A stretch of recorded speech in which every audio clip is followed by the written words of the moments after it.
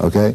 And what Mike Love thinks, what Smokey Robinson thinks, what Sting thinks, what anybody thinks, that's their business. And if they want to make their opinions known, they should make their opinions known, okay? I'm, not, I'm not interested in arm wrestling with these people. At this point, uh, I'm doing what I can as a private citizen to say what I think, and um, if they are going to try and put this across on the United States uh, population, they're not going to be able to do it as easy as they thought they would. How's it going to hurt you to have an R rating on your album? Well, the main thing that it's not just me, it's going to hurt anybody. How's it going to hurt anybody? Okay. Uh, certain record companies have already backed out of the RIAA plan because they've been told by Sears, J.C. Penney's, that if you send me an album with any sticker on it, we're not going to rack it. And so A&M backed out, Geffen backed out, and MCA backed out. If you can't get it into the store, how can you sell it? That's how it can hurt you. Camelot, which is a chain of record retail outlet places in shopping malls, have been told by their uh, landlords, if you rack this stuff, you're not going to get your lease. They're not going to renew the lease. So there's a lot of pressure in the marketplace. I mean, the, the ladies, maybe they have good intentions. I don't know. Let's give them the benefit of the doubt. But the net result of their tactics is somewhat chaotic. And it's not over yet. Just because the hearing was on the 19th, that doesn't mean we had an argument and everybody went away. There's still stuff going on. In the 1950s, a young man came out, appeared on the Ed Sullivan Show. They had to shoot him from the waist up. His name was Elvis Presley. In the 70s, there was a song, Louie Louie by the Kingsmen. That was checked for objectionable lyrics. Uh, it went on to Spiro Agnew talking about the drug culture. Where will it end? We'll pick up on that when we come back.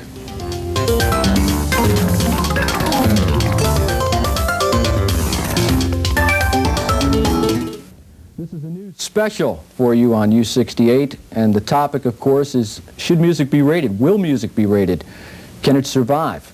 Our guest today is Frank Zappa, and what we were discussing going into the break was back in the 1950s when Elvis Presley appeared on the Ed Sullivan Show. The camera took him from the waist up because of the hip gyrations. In the 1960s, it was Louie Louie by the Kingsmen. There was a question about the lyrics in that. In the 1970s, there was an awful lot of objection, particularly by then Vice President Spiro Agnew, talking about the drug culture and what it was doing to people through music. And now in the 1980s, we're worried about explicit music, objectionable words within uh, music and lyrics. And the question is, to Frank Zappa that I have, is that things have gotten progressively worse from the decades, from the 50s through the 80s, as far as what people are objecting to. What's going to happen in the 90s? Look, the songs reflect what's going on in the society. Let's just say that if you think the lyrics are uglier today, look around you. The world is uglier than it was in 1950. Okay? And I think that if you find lyrics objectionable in songs and you find that the material is harsh and you can't take listening to it, maybe the better way to fix it is to fix your world. And then these guys who write songs won't keep reminding you of how ugly stuff really is. Should artists police themselves? No. Not at all. That's not an artist's job. What are you going to do? Oh, I got an idea. I see the world that's ugly. I'm going to put my hand over my mouth and smack my hand? No. If you're really an artist, you got a right to not only say what you think, but you have an obligation to share that as a piece of art with the people who might benefit from hearing that point of view because artists provide a point of view that news people never will. Isn't it kind of a vicious circle, however? Doesn't one artist perhaps see what's selling for another artist and perhaps kind of copy? That's not art.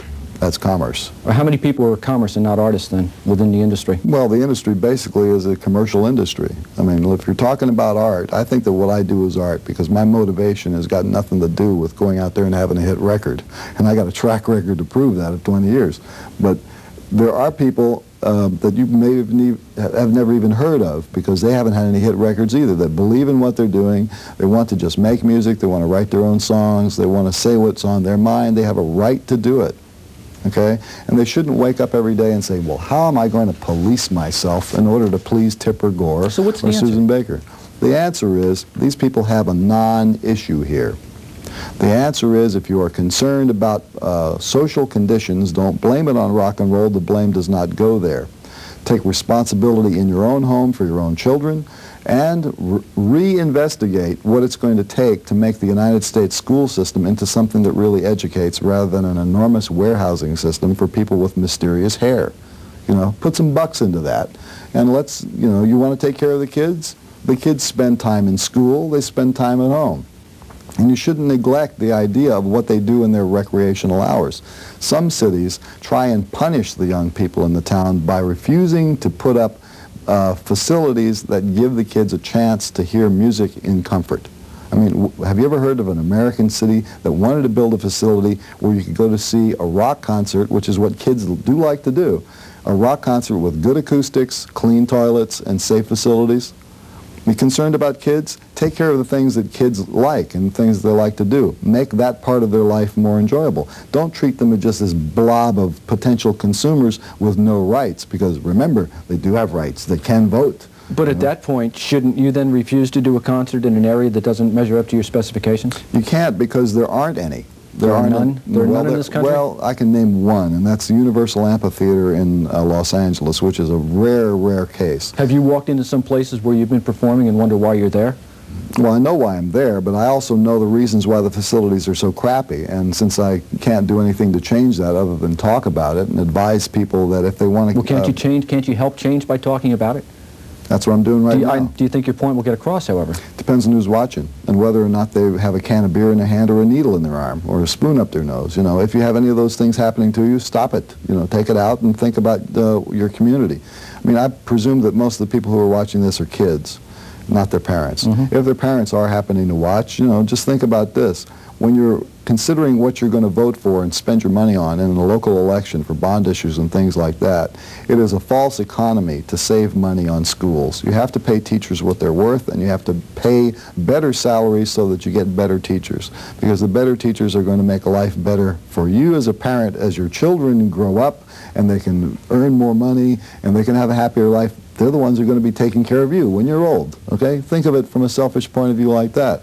Also think that um, the kids have a right to a good education. I'm 44 years old. I, I, wouldn't say that the school I went to was fabulous, but even as mediocre as it was, it, it's compared to today's schools, I got a billion dollar education. Mm -hmm. I got out of school and I can spell, I can count, I can read, you know. Well, New Jersey's taking the lead in that respect. They've just passed a law for minimum salaries. That's a whole new story.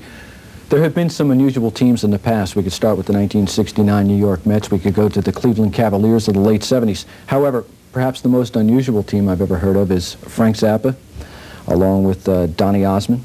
We can throw in John Denver. We can also add Dee Snider. Did that kind of blow your mind? Teamwork on that level? Well, no. I think that uh, no matter what a guy does for a living or how his hair is or what kind of clothes he wears has nothing to do whether or not the man has logic going.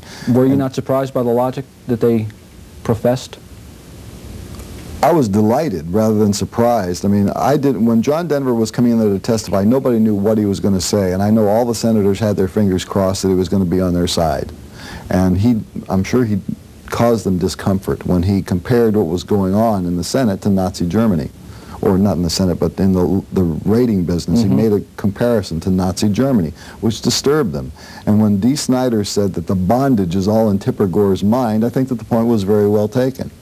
And when Donny Osmond on television says, uh, if you have these ratings, I'm going to have to put dirty stuff in my record so that I can, uh, you know, make it sell better.